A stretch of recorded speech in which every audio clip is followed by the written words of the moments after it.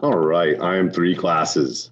Uh, lesson for today, we're talking from module 5.2, inverses of functions. So what we're gonna be doing today is looking at functions and I'm gonna teach you how to find the inverse by solving.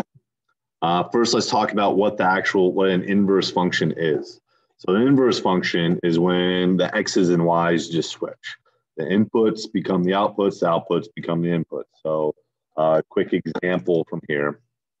We have a, a, basic function with a domain that maps one to one to a range. So 16 maps to 18, 33 to 31, 12 to 48, 38 to 6, 18 to 40.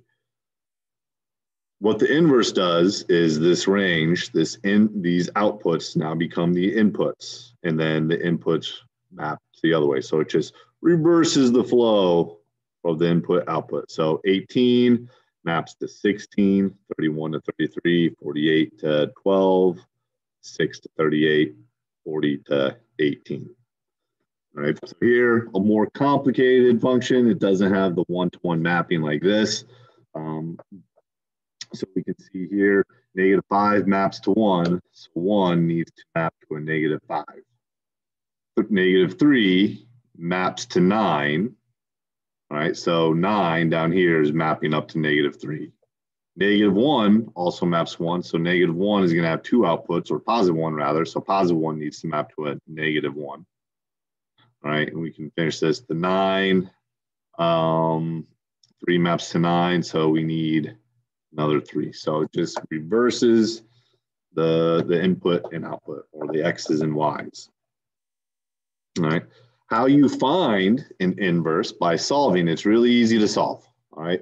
Uh, so sometimes you're gonna have functions that look like this. You're gonna have um, uh, f of x equal to 4x. First thing I'm gonna do is change the f of x to a y because uh, that's just easier to work with. Next, I'm gonna solve for x in terms of y. What that means is all I'm going to do is solve this equation for x, right? So uh, I am going to put in a line of separation just to keep track of the different sides of the equation here. Scroll up so you, you can read those directions. Um, first thing I'm going to do is add 8 to both sides and solve for x. So the minus 8 plus 8 cancels out. y plus 8, that's just y plus 8. They're not like terms. You can't combine them, so it's just y plus 8 is equal to 4x. Next thing, I need to eliminate the force to finish solving for x. So I divide both sides by 4. Over here, make sure you divide the whole thing by 4. You need to divide the entire side of that, that function by 4. So times 4 divided by 4 cancels out. So you're just left with x is equal to, uh, this doesn't simplify. We're not going to divide that out. We can just leave it as y plus 8 over 4. All right, the last step here, switch the x and y since the inverse switches inputs and outputs. So once we're solved here, I'm just going to switch the x and y. So I'm going to rewrite it as y is equal to x plus 8 over 4. Make that x a little bit nicer. And then if you really want to, you can replace with uh, f, uh, uh, the inverse of f of x is the notation for there is x plus 8 over 4. And that's it. So let's look at another example. All right. Um, this one's already in y equals, so I'm going to put in a line of separation. First step to solving for x now is I need to subtract 12 from both sides. You get y minus 12 is equal to negative 4x divide both sides by negative 4. Make sure you divide the whole side. So this cancels out. You get y minus 12 divided by negative 4 is equal to x.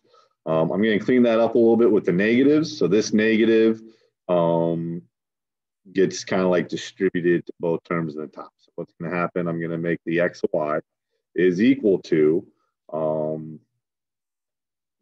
4 on the bottom, and it's going to be negative y, or excuse me, negative x plus 12. So what's happening is this negative, I'm moving it to the top. And then I am distributing it just so it looks a little bit nicer than having the negative on the bottom there. All right, and then last, if you want, you can always write it with the, um, you can change the y. Actually, since this is why we can just leave it like this and say it is the inverse. All right, so next one. Uh, first thing, I'm going to rewrite it with y. So y is equal to x plus 1 over 6. All right, this one, uh, you might be tempted to subtract one first. You can't subtract one on this one first because it's all in the numerator. We have to get rid of the six on the bottom. So that's uh, x plus one divided by six. The opposite dividing by six is multiplying by six. So I get six y is equal to times six divided by six over here cancels out x plus one. Then I subtract one from both sides. These are not like terms. You cannot combine them. You just leave it as 6y minus 1 is equal to x. And then rewrite it um, over here. So it would, it would be y is equal to 6x minus 1. Uh, and then because it is using f of x, I'm going to use the inverse of f of x is equal to 6x minus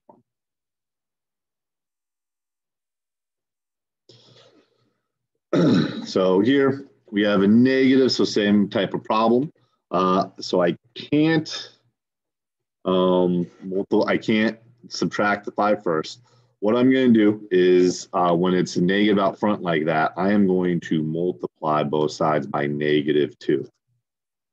What that's going to do is it's going to cancel out the twos, that in red, cancel out the twos, and the negative. So negative times negative becomes positive. So over here I get negative 2y is equal to positive x plus 5. And then last step is to subtract 5 from both sides. So plus 5 minus 5 cancels out. Get negative 2y minus 5. Remember, they are not like terms. You cannot combine them. It's equal to x rewrite it, switching the x's and y's. So it's going to be y is equal to negative 2x minus 5. We'll just leave it as a y because no f of x notation on there. All right, next one, more fractions. Very cool. All right, uh, line separation. First thing I'm going to do here is add 5 to both sides. Want that in green. So add 5 to eliminate the minus 5. So get y plus 5 is equal to 2 thirds x. I'm going to split this fraction into two steps. Um, since this is 2 times x divided by 3, um, I'm going to eliminate the divide by 3 first by multiplying both sides by 3. So that will eliminate um, you can distribute that three. So three times y is 3y plus three times five is 15. And it is equal to 2x. And then divide both sides by two. Make sure you divide the whole thing. So times two divided by two cancels out. Uh, so you get 3y plus 15 all over 2 is equal to x. So rewrite it, switching the x's and y's. So it's 3y is equal to uh, 3x plus 15 all over 2.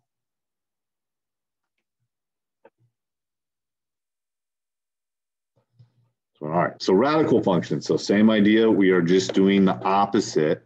Uh, first thing I'm going to do is rewrite this without the f of x notation. So it's going to be y is equal to square root of x. All right. So the opposite of square rooting something is to square it. So to get rid of the square root on the x, I'm going to square both sides. So I get y squared is equal to uh, square root squared just cancels out. Y squared is equal to x.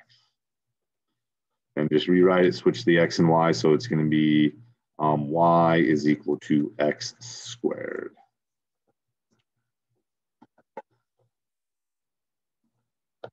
So here a little bit more involved one. This is quite a bit more involved. So I'm going to rewrite this without the f of x so I don't have to worry about it. So it's y is equal to 3 times, oh, the fifth root plus 1. So we have a lot going on in this one. Kind of jumped up the difficulty there. That's fine. Um, first thing I need to do before I get into the square root, uh, I need to get take take take care of the three on the outside. So I'm going to divide both sides by three. So I get y divided by three times three divided by three cancels out.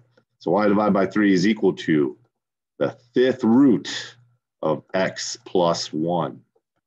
Right? I can't subtract the one because it's underneath this root.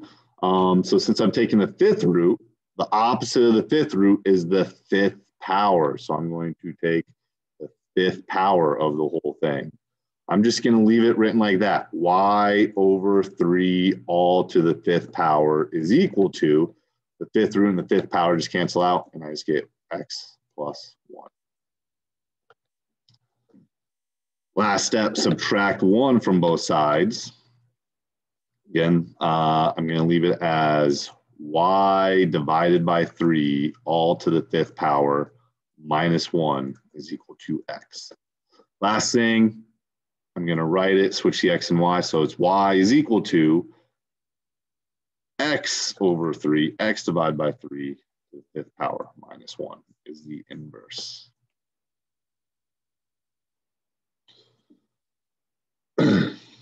Long one. Cool.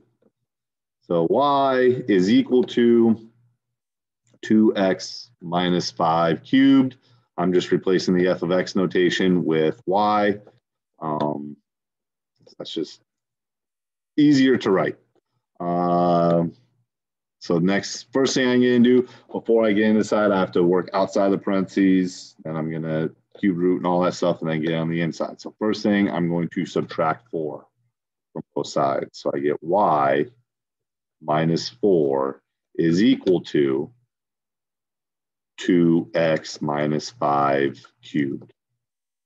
Next, the opposite of cubing something is cube root. So I make the square root, the radical symbol with a little 3 in the nook. All right, on both sides. This isn't going to simplify over here, so you just leave it as the cube root of y minus 3. And now the cube root and the cube cancel out, so I get 2x minus 5. Still solving on this one. Uh, I need to add 5 to both sides. Man, this is a lot going on with this one. So uh, that's going to be on the outside of the root. So it's y minus 3. That's on the inside of the root plus 5 on the outside is equal to 2x. And then the very last step is to divide by 2. And you have to divide the whole thing over here by 2. So it's going to be, the final answer is going to be the cube root of y minus 3. That's all I need in the parentheses or underneath the radical, plus 5 all over 2 is equal to x. And then the last step, rewrite it, switch the x and y. So y is equal to cube root x minus 3 plus 5 all over 2. That was a longer problem. Cool. Um, my slides are out of order. This one's a lot easier compared to the ones we just did. Uh, so I'm actually going to skip it. It's just the fifth root. We've already done one with the root. Um, already done one like that, so I'm going to skip it for right now. That's another long one. Maybe we'll do one more long one so we can see how everything works. Here. So uh, first thing, you rewrite it and actually rewrite it just right here in the middle so I have more space to work on the side. So it's y is equal to 3x minus 5 cubed plus 4. First thing I need to do is subtract 4 from both sides. So y minus 4 is just y minus 4 is equal to 3x minus 5 cubed. Then I'm going to cube root everything. Make sure you do the entire side. This doesn't simplify, so it is just the cube root of y minus 4 is equal to 3x minus 5. The cube root and the cube cancel each other out.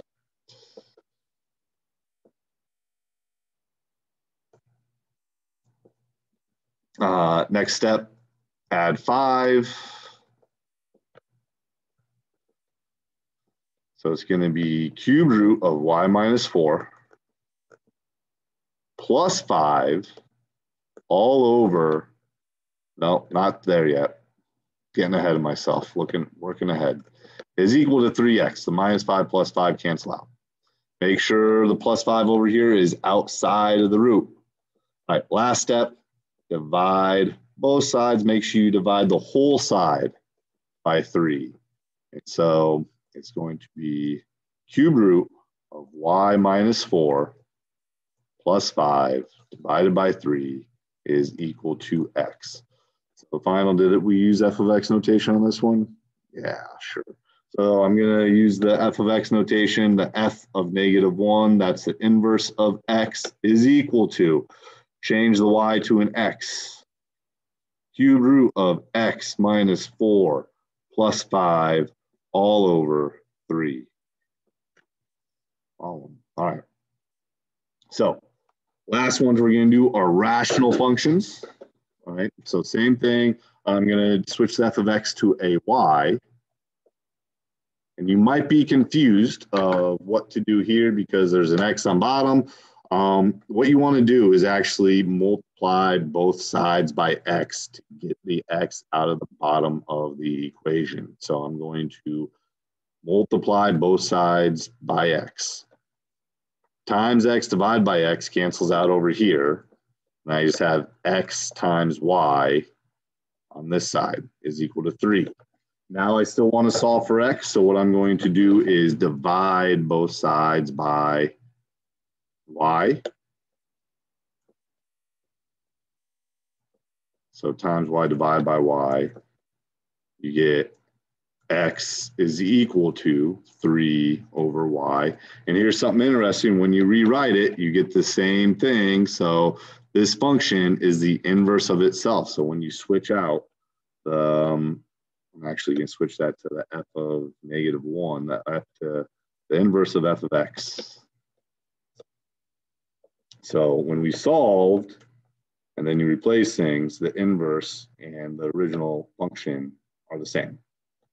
So let's look at one where it's not quite going to be the same. So uh, first thing, I'm going to start off, change the f of x to a y is equal to 2x over x minus 1.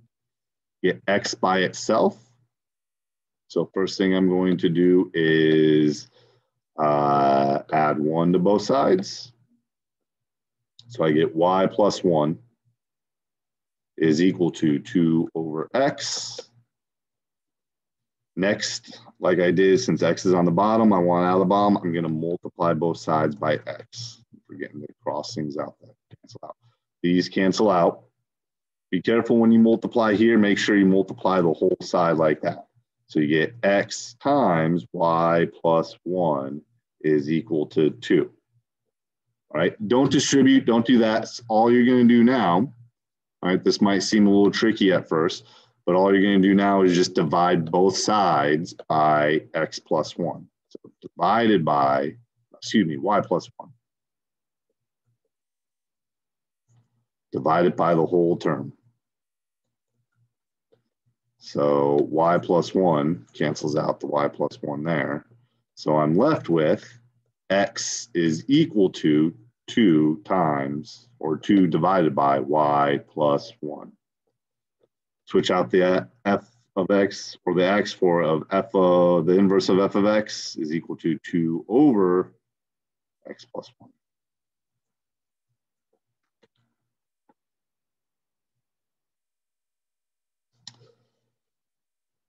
All right, so next one, place the f of x with y. And then I'm going to solve. So here, I have this whole term in the bottom. Sometimes it might help to put parentheses around, actually I shouldn't turn the whole uh, binomial in the bottom, put parentheses around it, and then I'm gonna multiply both sides by that whole thing.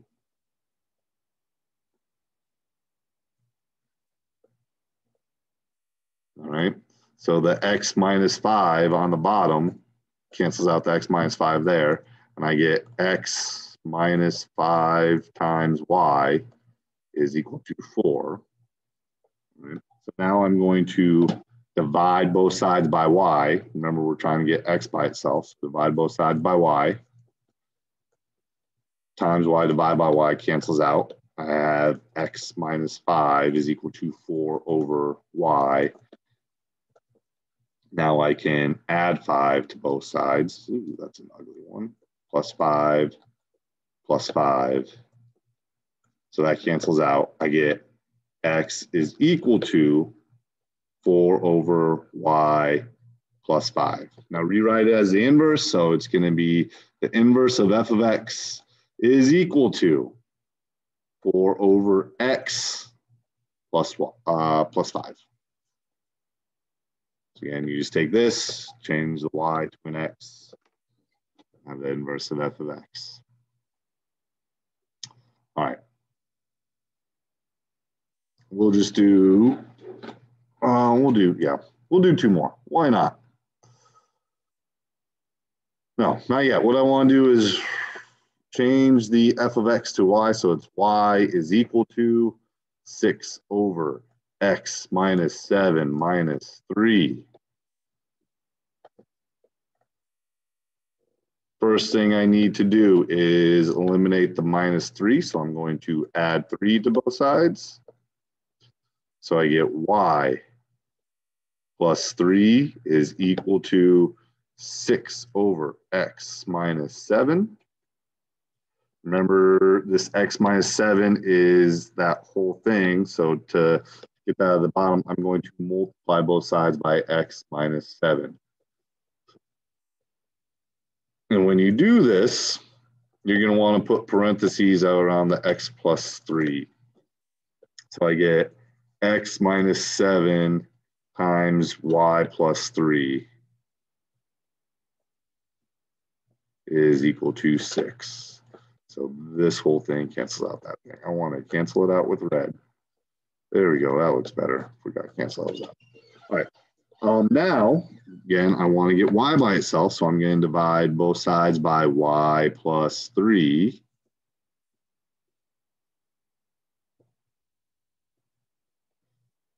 So times y plus 3 on the top and bottom cancel out, and I have x minus 7 is equal to 6 divided by y plus 3. And then the last step is to add 7 to both sides. So you get y is equal to 6 over y plus 3 plus 7.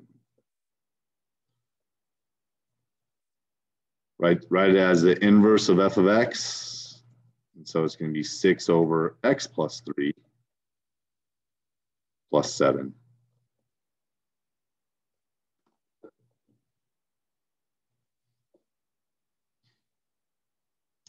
Last one.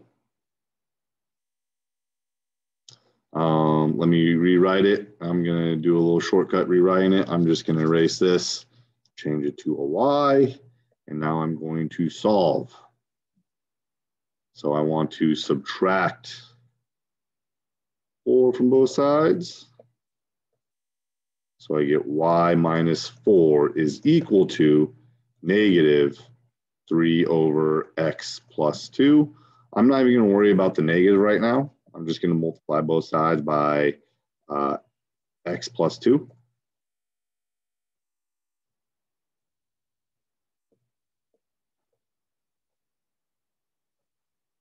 So, good. How you doing? What's that? You only sweep on Wednesdays? Okay. Um,